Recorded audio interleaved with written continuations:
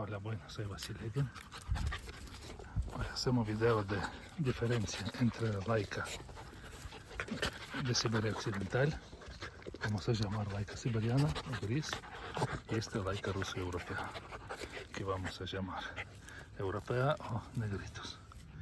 Ya lo ves por color de primera vista. Estos puedes llevar color blanco y negro, no puedes llevar ningún gris, no puedes llevar hasta negro entero, hasta blanco entero, pero normalmente mayoría son negro y, un poco de blanco. Son muy alegres, muy raza menos conocida, muy alegre, muy activo, eléctricos, ladran mucho más, muy ágiles, muy sociable, más fácil, lo tiene más contacto con la persona, mucho más fácil de adiestrar. Estos laica siberiana, laica de Siberia Occidental. Eso, como lo sueltas en el monte, así se ve. Está pendiente, buscar algo, todo, muy poco contacto, tiene menos contacto con la persona, está investigando, jugando y todo esto. Pero este siempre, laica europea, siempre viene a buscar eh, dueño. Oh, ya lo regresa, viene a buscar contacto. Y eso por tamaño se lo ve primero que lo forma de cuerpo lo ves cuadrado perfecto. Y otro como está un poco más prolongado tiene más cuerpo prolongado más patas más cuello estirado más cabeza más fuerza. Estos machos lo pesa 23 25 kilos laica siberiana hembras 18 19 y estos machos 17 kilos 18 laica negra laica europea. Y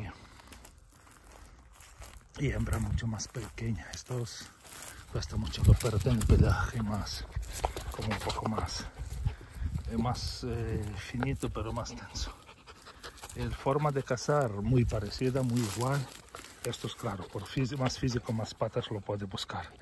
Y más ir a buscar más lejos distancia, perseguir más, acosar. Pero esto es el forma de lo laica siberiana, forma de acosar más están por ahí si tres rodea jabalí intenta más uh, ladrar pellizcar por atrás intentar frenar. Y laica negra laica europea ladra mucho más. De acosar ladra sin parar. Puedes decir ladra 3, 4, 5 veces más o 10 que laica siberiana.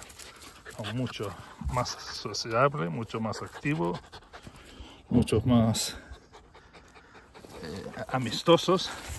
Yo creo que es mejor para cazadores jóvenes que no saben adiestrar bien. Estos se quejan mucha gente, laica siberiana es así, ¿eh? que cuesta mucho hacerse sociable. Más ahora como mucho trabajo tenemos, muchos perros, muchos niños, muchas mujeres.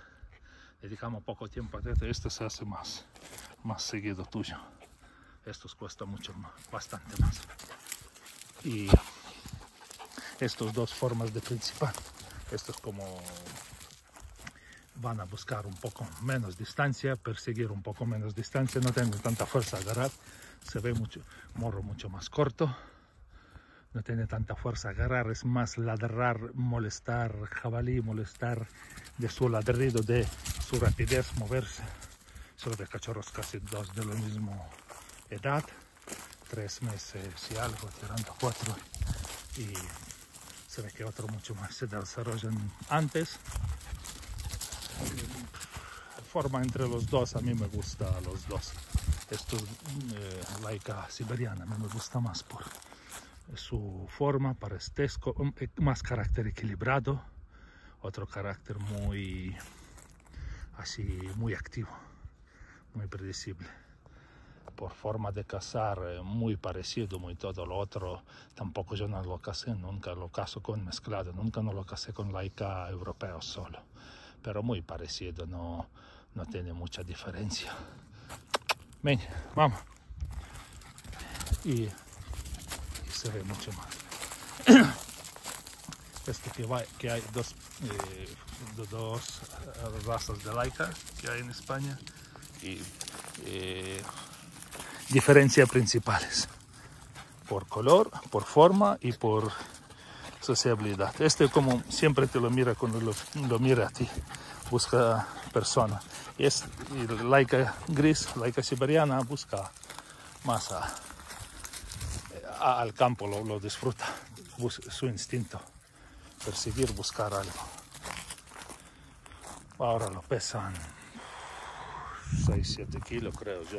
No, ni esto, sí. Y esta es hembra, otra es macho. Esto que hay de diferencia entre dos laicas. ¡Eh! Ven aquí. ¡Eh! Bonitos. Bueno, si hay alguna pregunta, ya me dirás. Bueno, un saludo a disfrutar. Esta laica mucho menos expandida. Toda la gente lo piensa que es oso de Karelia, pero no. Parecida, pero no.